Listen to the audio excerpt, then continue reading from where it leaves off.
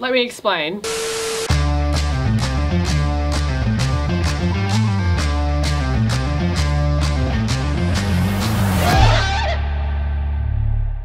Why is it always like this? Yes, we will get there. I will explain the yurt, but first, coffee. No, uh, well, actually, no, we don't need the anxiety just yet. We've already had one. Well, mm, uh, and yet, no. Okay, so there is a tiny little baby waterfall slash a heart-shaped gorge, creek, rock formation, whatever it is. It's got water in it. It's in the shape of a heart. I have every intention of hunting that down today, but I have also been growing mushrooms.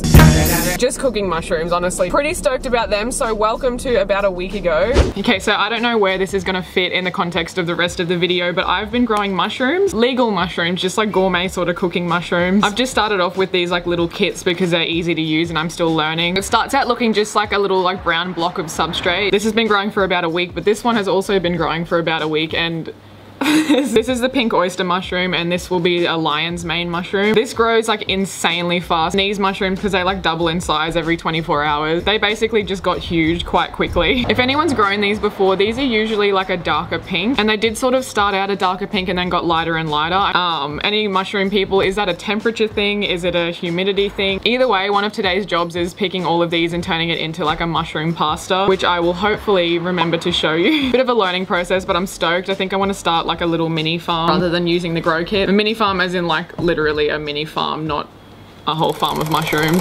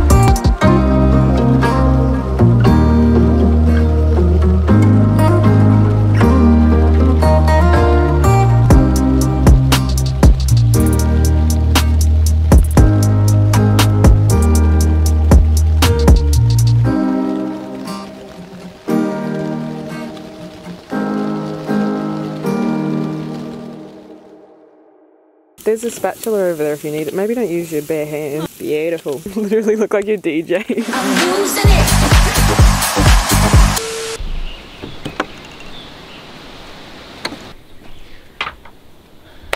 Yurt. Hello MTV Cribs, welcome to my yurt. Yeah, so this is a choice that I've made recently. So I have made the decision to reside in a yurt in the woods because I think that's honestly that's just where 2020's taken us. It's where we are right now. You know what? That lighting's a little bit better. So I one day found myself googling yurts in the Gold Coast and that brought us to this yurt in the Gold Coast. Weird how the internet works. I have exactly zero regrets about it. This is the most serene place I've ever been to. We found this cool like heart-shaped creek type thing. Jumped off it and the jump was a lot longer than I thought it was gonna be so didn't break my legs. It was only like a kilometer or two to get there but the hill was literally like in like this steep, we were falling down the gravel getting down and getting up was, my little stick legs are not okay. It was absolutely pissing down rain when we left. So we were walking up this hill. We had the drone and cameras and no like proper bags to cover any of it. The drone is on the deck drying out right now. So if that never works again, I won't be shocked at all because we were absolutely drenched. So yeah, walking up that incline was maybe my least favorite part of the day, but still really sick. I think I poured like a liter of water out of my boots when we got back to the car. Immediately just got naked and got in the car because everything was just sopping wet. This camera still works, luckily. The drone We'll see. I don't have much faith in old Mavic. This lighting is wildly inconsistent, so you're just gonna have to cop that for a bit. But anyway, I just wanted to stay in the yurt. Now we're in the yurt. The yurt is sick. I'm gonna be abusing the word yurt for the rest of the video. So let's show you around the yurt. So here is the main entrance. I'm gonna have to give you a height comparison for that door. Let's just, uh, a bit of a you know what I mean? It's a little kitchenette area. There's also like a barbecue outside. Best thing in the world, it has aircon. Sleeping quarters, aka just bed. This is the comfiest couch in the world that I've messed up a little bit. And little picnic blanket and some activities, some books and stuff. Got the cutest little table and pillows. Best part about it is I don't have to move this spot to give you like a tour of the entire place. Also, there's really amazing artwork up on the roof and stuff and all on the doors. Very vibey, would absolutely live in a yurt. This is much bigger than my actual bedroom. if anyone has some land and a couple of people that know how to build a yurt, let me know. Um, nearly forgot the bathroom. Very sick little bathroom. Oh shit, yeah, that happens every single time. I hit my head literally every single time I come in here. Also, this room is so bright. It's pretty bright and glary today. Look at this little guy. So cute. Anyway, you can also sit over there if you would like to start fires. If you would like to...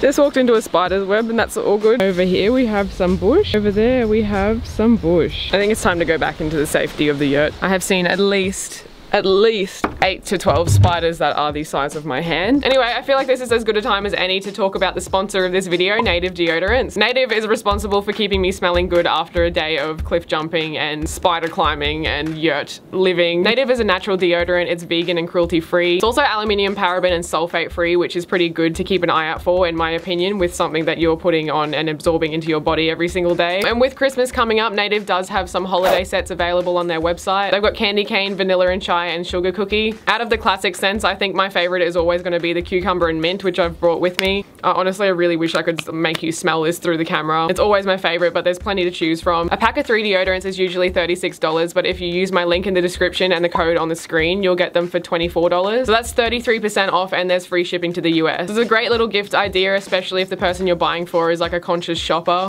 Maybe if they live in a yurt, I don't know, they'd probably like it. So I'm gonna chill in the yurt for a bit. I think Carly's gone down to the dam, so I'm gonna wait for her to get back. We've bought honestly way too much food, so I'm gonna have a snack and then I think, oh my god, state of origin is tonight. It was actually pretty sketchy today when we jumped into that heart pool. A, I'd never been there before. You kind of had to swim through this gorge to get to this like rock wall, which was completely vertical and sort of just hoist your way up. And as we were swimming at like eye level in the water, there was this dead huntsman spider, like massive, just floating by. And I'm like, that's great. It's dead, so that's fine. I don't have qualms with spiders, but I just don't want them near my eyes, Pre like, pretty much ever. Yeah, for basically any reason, don't want spiders anywhere near my face. Having one float past me, not ideal. And then when we were climbing up this vertical like cliff thing, which was difficult enough already, and there was like very little to sort of grab onto and pull your whole body weight up above your head. As I was like climbing up, again, at eye level, there's just groups of little huntsman spiders or those little water spiders, but they're huge. Probably wouldn't have bitten us, but about this big, like the size of our hands and just not, not where I want to see them, you know? Not when I have to get up in this one spot and they are all, they're all just there. Another interesting little tidbit is that the owners of this yurt met in Kazakhstan when they were filming a documentary about someone's army, assuming the US, I don't really know, doing like nuclear bomb tests on little towns in Kazakhstan and not moving the civilians out, so basically testing on people and all of the corruption surrounding that. And they lived in little yurts in Kazakhstan, so they came back and built their own little yurt and very kindly rented out to people like me who just want to come and live in a yurt for a bit. Let's play the game, does the drone still work? And unfortunately, there's only one way to find out. This noise is new. This, this thing is definitely not doing well.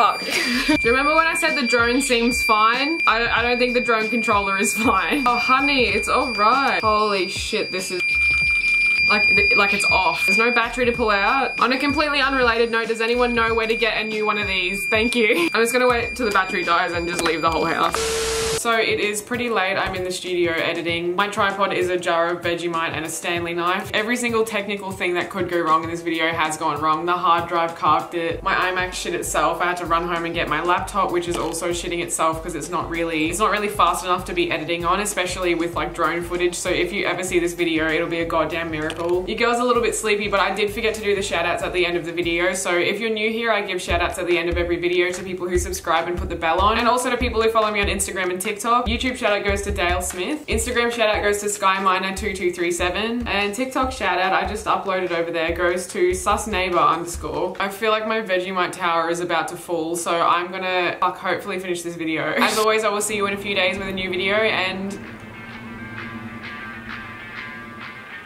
there we go.